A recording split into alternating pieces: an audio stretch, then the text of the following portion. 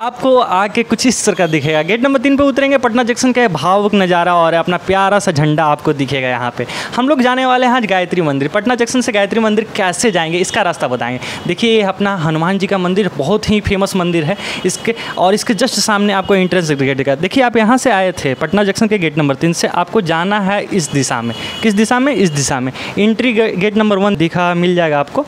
और इसी रास्ते में आप आगे बढ़ते जाएँगे। आपको कहाँ से टेंपू पकड़ना है, बस पकड़ना है, कितना रुपया लगेगा, सारा चीज़ खोल देंगे इस वीडियो में। आपको कोई भी झंझट नहीं दो मिनट का वीडियो है, दो मिनट में आप पूरा जानकारी ले लेंगे। आप कोई भी टेंपू वाले का ज़्यादा पैसा लेने का शिकार नहीं बन पाएँगे। अगर आप नए हैं पटना में तो ये वीडियो आपको काफ़ी मदद कर सकता है। देखिए, इस रास्ते से आगे बढ़ते जाएँगे तो एक बोर्ड आपको दिखेगा कि गांधी मैदान जाने का रास्ता कौन सा है। देखिए, इस पुल है, पुल के रास्ते से आगे बढ़ते जाता है आता है, ये पाल होटल है। यहाँ से ही हम लोग को टेंपू मिल जाता है, इसी के पास से टेंपू मिल जाता है। ये जितने पीले पीले टेंपू दिख रहा है, या बस दिख रहे हैं आपको, ये सारे जाते हैं हमारे ही पास। गायत्री मंदिर से ही होते हुए आगे थोड़े बढ़ जाते हैं।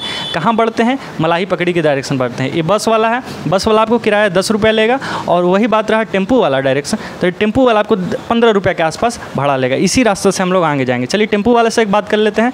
तो यहाँ पर देखिए बहुत सारे टेंपू वाले हैं। तो भैया क्या आप मलाई पकड़ी जाते हैं? कितना भाड़ा लेते हैं मलाई पकड़ी का?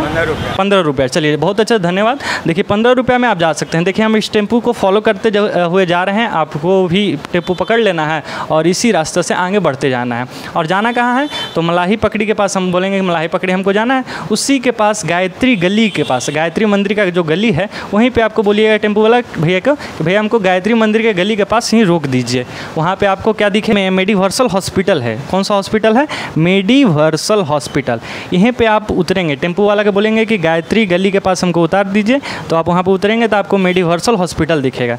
तो हम लोग इस साइड उतरेंगे, जैसे देखिए, और इस साइड से आपको आगे बढ़ते जाना है। और टेंपो वाला जहाँ जा रहा है, उसी डायरेक्शन में हम लोग जाएँगे। यहाँ से आप उतरने के बाद मात्र पाँच मिनट का रास्ता है, पैदल पाँच मिनट का रास्ता है, आप पाँच मिनट में पहुँच जाएँगे करीबन 200 मीटर की दूरी है। देखिए, यहाँ पे आपको इंडियन ऑयल का पेट्रोल पंप दिखेगा, अगर पेट्रोल पंप दिख रहा है तो समझिए कि आप सही डायरेक्शन में जा रहे हैं। आप पाँच मिनट आगे बढ़ते जाइए, पैदल चलते जाइए आराम से। आप चाहें तो टेंपू भी ले सकते हैं, अगर टेंपू वाला कोई दिख जाए, ऑटो रिक्शा वाला तो पाँच रुपया उसको भी दे दीजिए, वो पहुँचा देगा। पल में देखिए, वो पीली पीली सी जो मकान दिख रहा है, वो मकान नहीं है, एक बहुत ही अद्भुत चीज़ है। और हमारा वो गायत्री मंदिर आ गया है, जिसकी आपने अपने मस्तिष्क में सोच के रखा था। चलते हैं, हम अंदर भी लेके चलते हैं आपको, कैसा पावर है। ये देखिए, कितना प्यारा औसम है हमारा गायत्री मंदिर। तो इसके अंदर हम आ गए आप, और एक अद्भुत शक्ति के साथ आप आ चुके हैं गायत्री मंदिर में। धन्यवाद।